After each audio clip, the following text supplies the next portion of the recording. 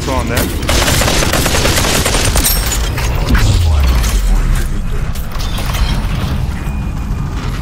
We should go take this team out and take their loot, guys. I'm coming. I'm coming with you, Pintail. Yeah. Sukan's on top. I, I'm jumping down. Whole team. Nice. I think so, boys. Take their stuff. I'm gonna I'm gonna stay over here a little bit.